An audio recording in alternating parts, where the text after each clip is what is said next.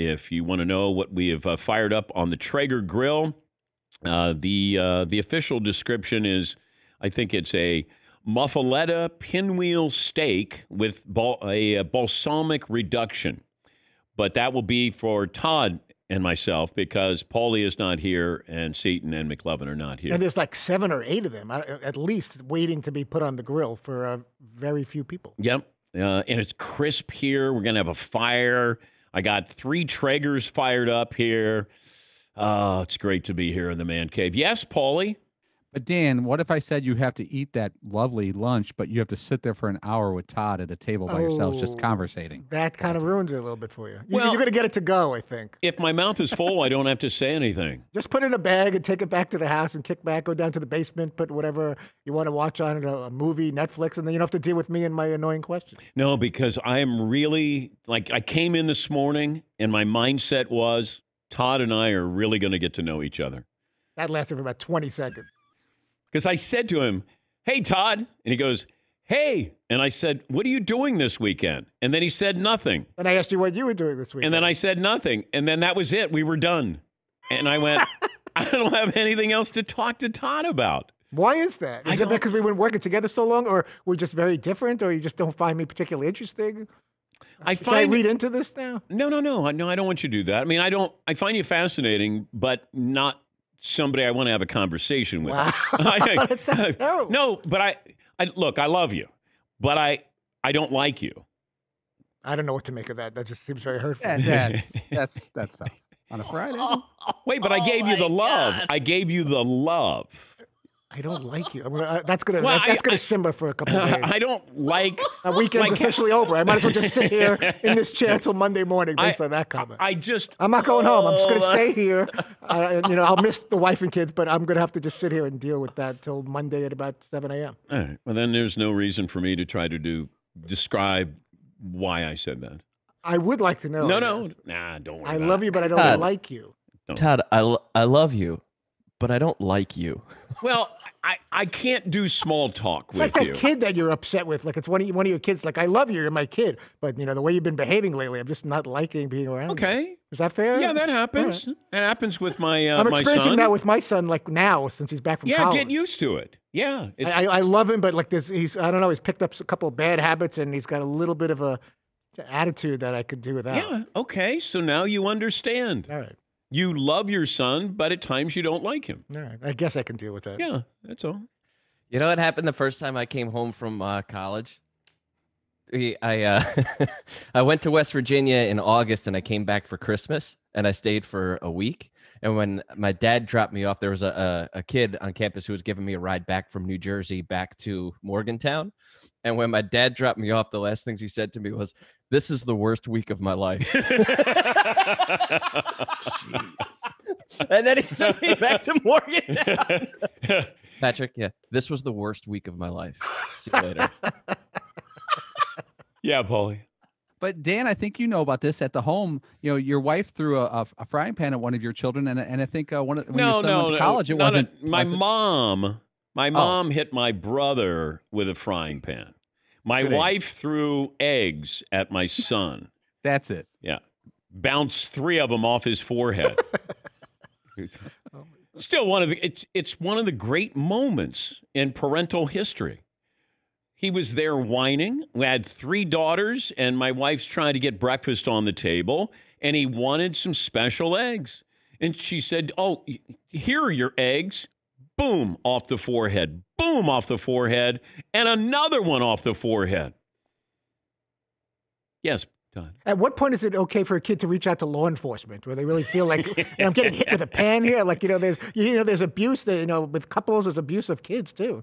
You know, belts and things come out. When is Yeah, you know, that was different. That was a different time. You know, that's back in the 60s when, The good old days. yeah, when you could get away with that. My mom would let us pick out the switch from the tree that we were going to get spanked with. I mean, That's imagine that.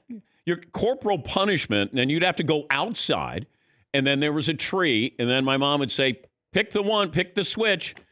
And you're like, I don't know which one is going to hurt less, but I'd grab one, and it didn't matter. Yes, Seton.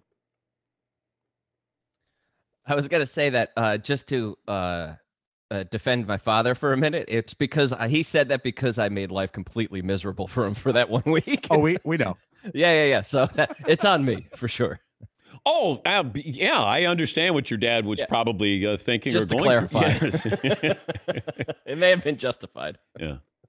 But McLovin was never like this. He uh, had an idyllic silver spoon in his mouth, the, the uh, suburbs of Philadelphia. Mm-hmm.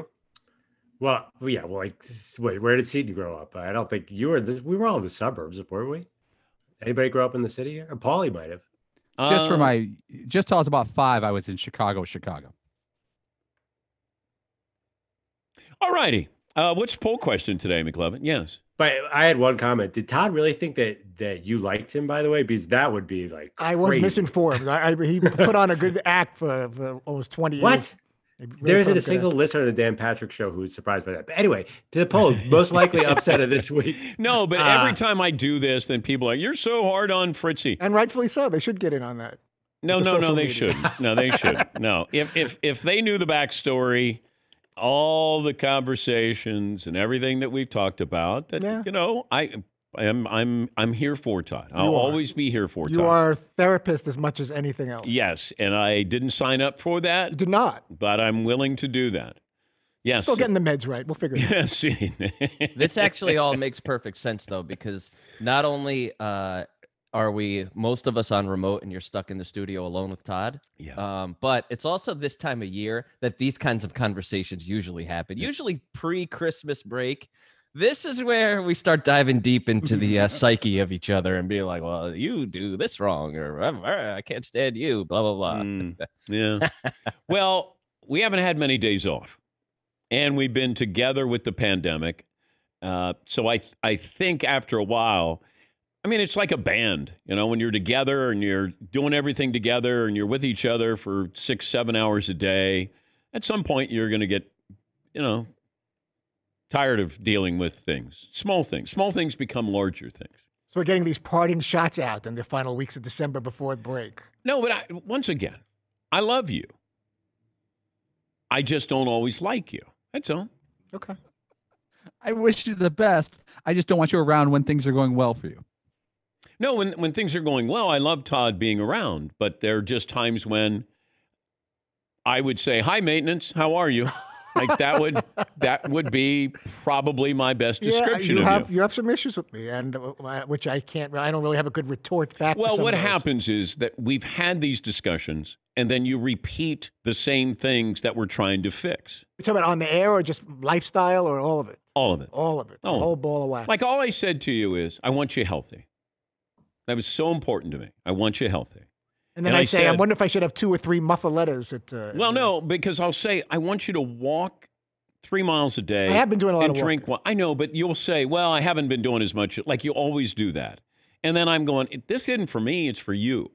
And then I get frustrated with that because I want you healthy. And what happens is you go if you walk enough, you develop an appetite, and then you have like a big sub, and like it really kind of No, no, you don't cancels have out the to- walk a little bit.